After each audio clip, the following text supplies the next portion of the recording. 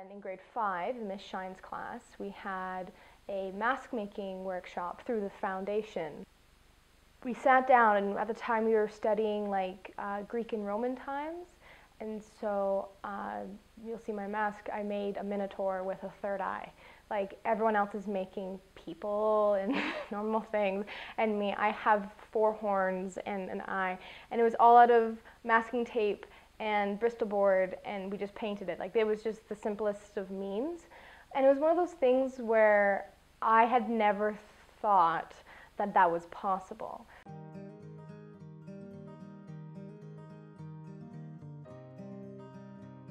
like that's how we started it. I remember exactly how we did it.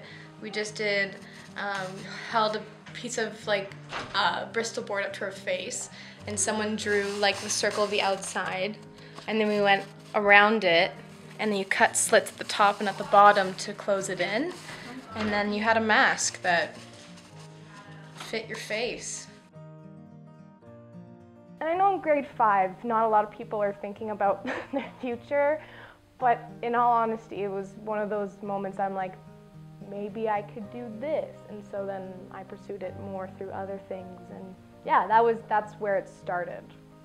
Took a lot of courses through Off the Wall. I did millinery, wig making, uh, fake food and props. The, the mask making course sparked to learn more and to find more classes and to just learn what I could uh, when it comes to making things.